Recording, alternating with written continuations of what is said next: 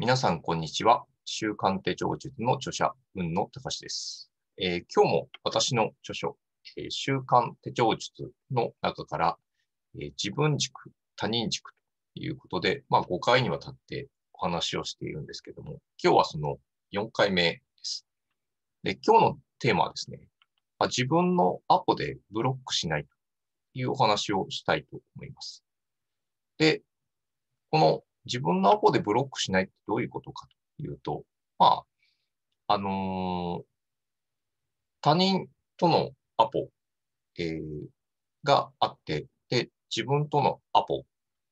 を、えーにしていきましょうっていう話は、え2回目のところでしたんですけども、ただ、やっぱり意識はしているものの、じゃあ、どっちが大事ですかっていう話をしたときに、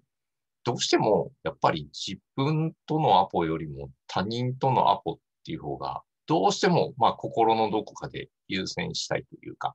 優先しなければというふうに思いがちなんですけども、ただ、そこで、こう、いろんな手帳術とか仕事術を、こう、見ていると、その中に、自分のアポでブロック、要は先に、えー予定を入れちゃって、で、他人とのアポ、予定を、えーブロックしちゃいましょう。っていうことをよく言ってると思うんですけども、私ちょっとそれにはちょっと異論があって、で、なぜかというと、その自分のアポでブロックしようということを考えてる時点で、すでに他人の予定の方が優先しちゃってるっていうふうに思っちゃってるわけですよね。なので、あの、2回目のその時に話した通り、こう、他人とのアポも自分とのアポと一緒に考えなきゃいけないと。いうことをお話ししたんですけども、その、基本的には僕は、他人とのアポだろうが自分とのアポだろうが同じだと思っていて、で、その、えー他人と自分とどっちを優先するかというよりも、その先にアポを取ったのが他人だったら他人の予定が先。で、そこのところに自分のアポを入れようとしても、それはできない。で、逆に自分のアポを先にそこに入れたんであれば、他人のアポが来たときに、いや、その時に私は予定が入ってますんで、というところで、まあ、当然ブロックはするんでしょうけど、ただ、あのーそれは自分とのアポだからとか、他人とのアポだから。なんで、まあ、あの、自分のアポを先に入れといて、他人のアポが来たら、ああ、じゃあそれ避けときますよ、みたいなことって、まあ、できなくはないんでしょうけども、ただ、あの、それをやってしまうと、どんどん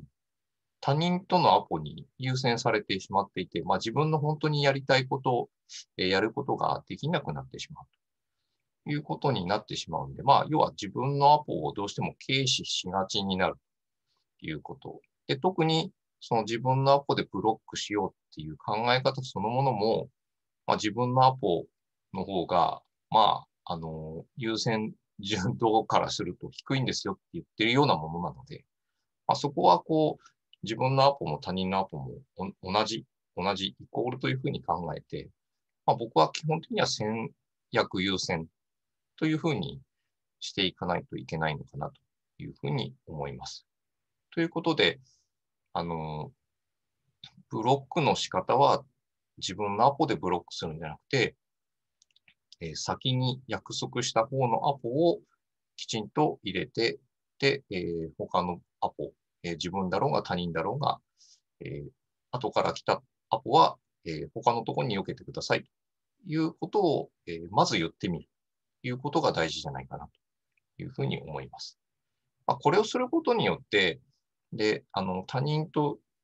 の約束で、まあ自分がやらなきゃいけないこと。で、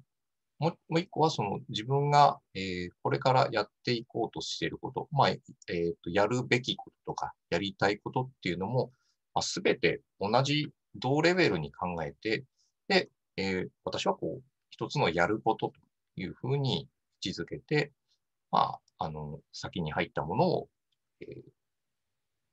優先的にやっていくというふうにしたいということが、まあ、大事じゃないかなと思っています。ということで、えー、自分のアポでブロックはしません。そういう意識を持つことが大事ですよというお話をさせていただきました。えー、今日も最後まで視聴いただきありがとうございました。運の高しがお送りしました。それでは。